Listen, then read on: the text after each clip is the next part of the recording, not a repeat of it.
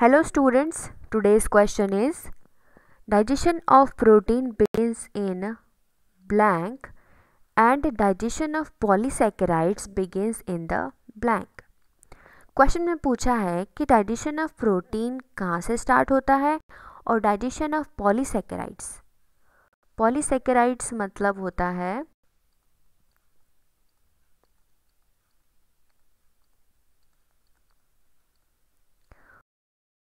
मतलब starch starch मतलब carbohydrate carbohydrate का प्रोटीन कार्बोहाइड्रेट का डाइजेशन कहाँ से स्टार्ट होता है?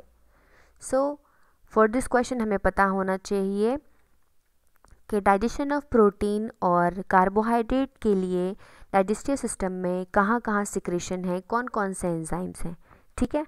तभी हम बता पाएँगे कि इनका डाइजेशन कहाँ बिगिन होता है? तो हम रिवाइज कर लेते हैं। पहले प्रोटीन के बारे में देखते हैं।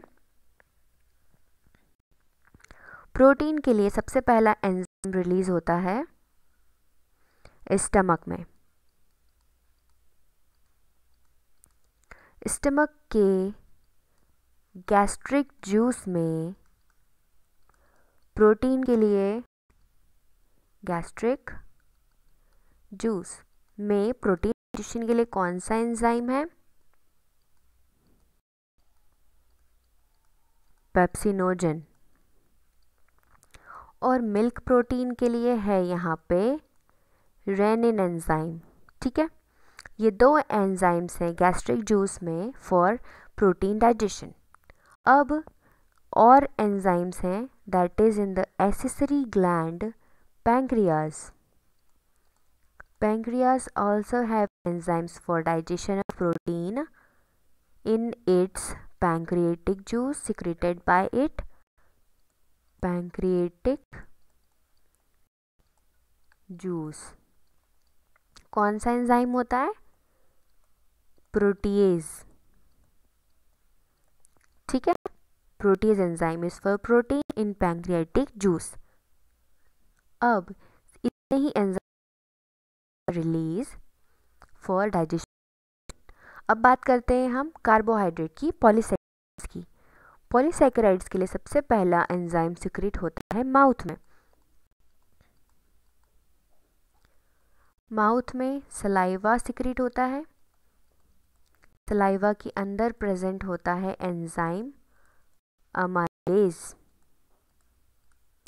सलाइवरी अमाइलेज का होता है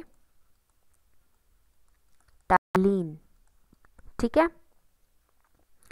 यहाँ सिर्फ़ एक ही एंजाइम रिलीज़ होता है फॉर पॉलीसेकेराइड डाइजेशन कहाँ सिक्रेट होते हैं?